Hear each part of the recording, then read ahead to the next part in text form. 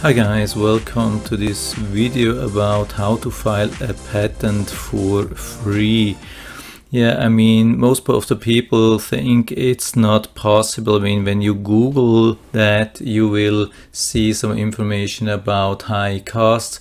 Here, that's the first answer from Google. They're saying around uh, $1,500 without an attorney. Then for an attorney, you can expect Uh, up to 10,000 I mean even more depending on the needs also how complex the whole thing is and so on so but it definitely is not a cheap thing but how would it be possible to make the thing for free? I mean, I've been in this business for a couple of years. I mean, not full time, but I've been trying a couple of things. I've been filing a patent and yeah it was a couple of years ago and it really worked for me. So i had like a protection for uh, one year and it didn't cost me anything and but uh, yeah and I have been trying to sell the thing to large companies but didn't work. So it's a really really complicated thing. And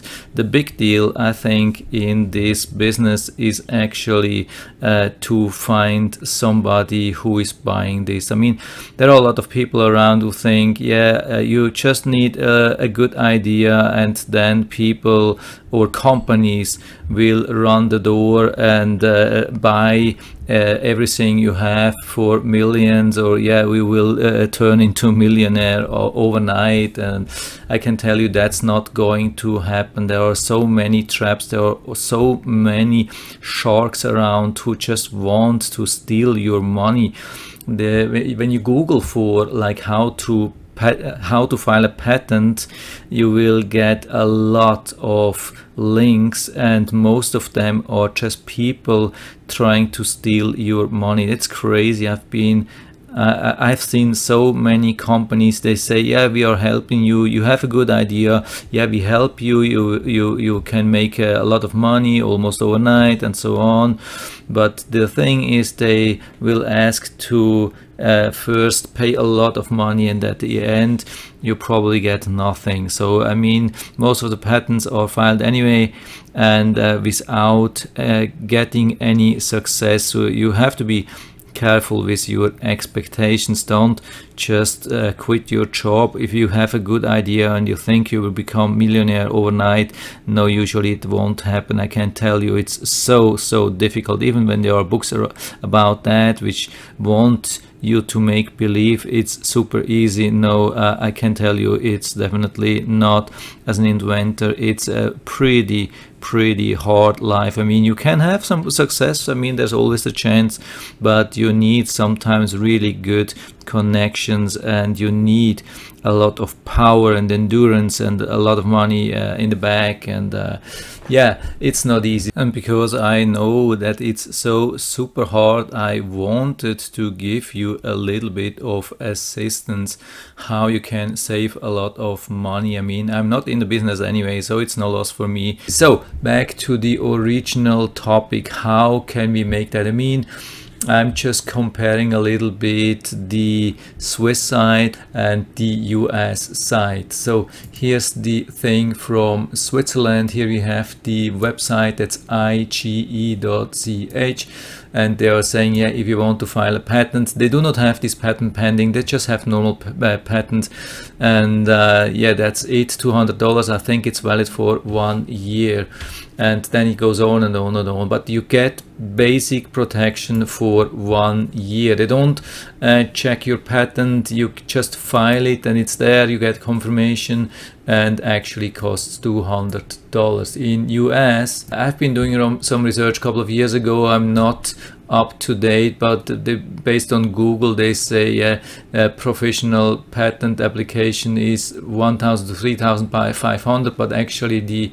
uh, patent application starts at $300 as far as I know it is depending on your income. So if you have a pretty low income there's a chance to make this much lower. I have seen prices uh, for $60 or so, $120. I'm not sure about that, but still you can face a lot of cost. And if you have no success, yeah, then it's everything a loss. So how to avoid that? So there was one article a couple of years ago, it's six years ago, but I think it's still the same. So here there was something about a company from Germany. I think this guy was from Germany. He was filing uh, 1,400, uh, no, that's wrong, 1,205 uh, patents in Switzerland. And guess how much he was paying for that? Nothing. So nothing. How's that possible? The IGE, or I mean Switzerland, basically they have signed a contract in Paris a couple of years ago, and it's all about uh, how to handle patents.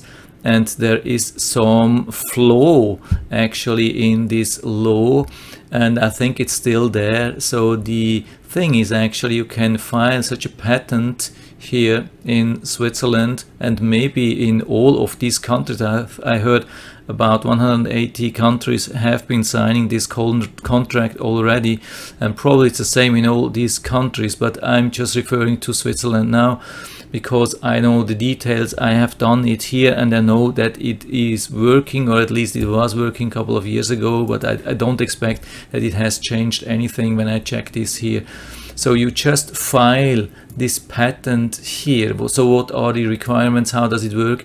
You can file it from everywhere. You can file it uh, by email. There's here on this site you will find an email address and you put everything into PDFs and describe everything properly. I mean, there are quite some requirements to do that. And uh, you, you basically file it and you get confirmation.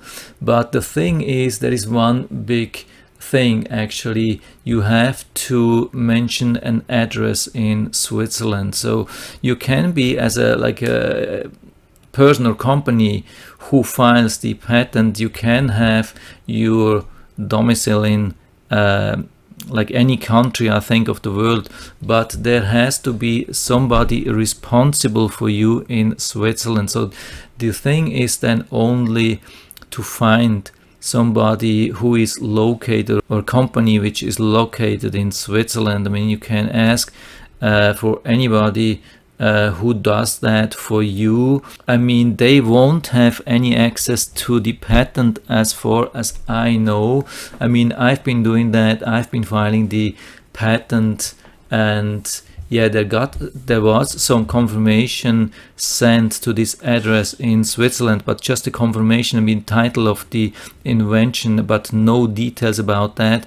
And the thing is, now it gets a little bit tricky. I mean, there's of course this uh, filing fee of $200 they will send an invoice of 200 Swiss francs which is basically $200 to this person which you refer in Switzerland. But the thing is you don't have to pay that. I mean yeah also this person doesn't have to pay that. They're just sending the invoice and based on the contract which was signed in Paris uh, they cannot enforce this bill. I mean, they can ask you to pay that, but even though if you're not paying, they will still be obligated to maintain your like uh, filing and so it will be protected for one year. And during this one year you have the chance to sell this patent. I mean it's not a patent pending but it's like a, a patent filing. You can uh, sell that and if you find a company which is willing to pay a lot of money, then you will have within one year to file another patent within this country or region like EU and there are so many different patents. I mean you can file patents on a country level on a region or worldwide and so on. I mean you will have to find out what it, what's needed.